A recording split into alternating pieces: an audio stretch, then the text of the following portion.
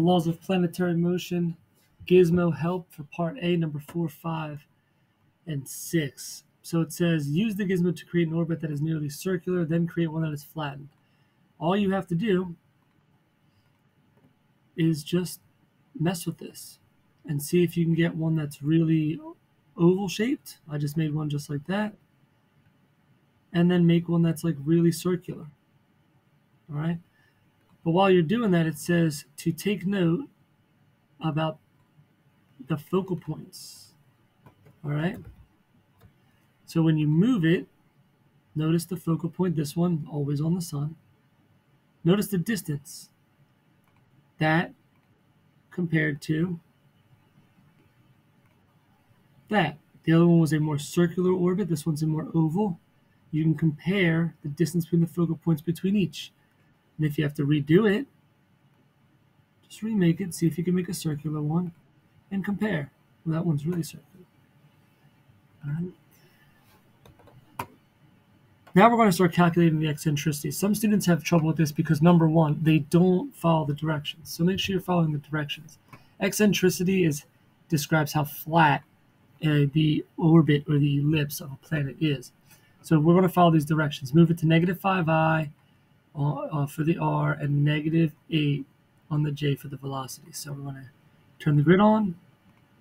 I'm going to move this bad boy to negative 5i. We can double check right here. It says negative 5i. And then, I gotta zoom out a little bit to grab this. We want it to be on negative 8. Boom, I just did it, negative 8. And now we're going to let it run.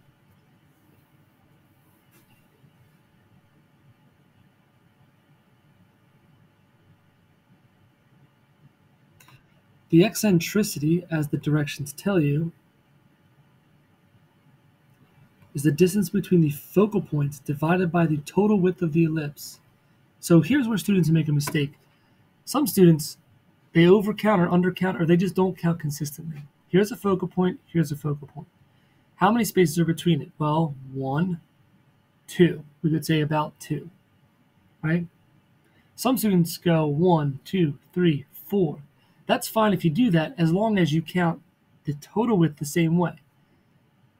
So either you're going to go, oh, it's one, two, and then from here you go, oh, okay, it's one, two, three, four, five, six, seven, eight. Or you count one, two, three, four, and this is 1, 2, 3, 4, 5, 6, 7, 8, 9, 10, 11, 12, 13, 14, 15, 16. See, students make big mistakes when they say, oh, it's, it's 1, 2 separate here, but here it's 16. They're not being consistent with their counting. Remember, the eccentricity is the distance between the focal points divided by the total width, this total width, the diameter of the orbit. All right.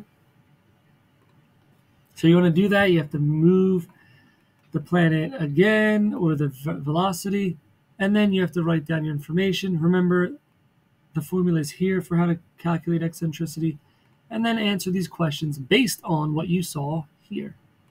Okay?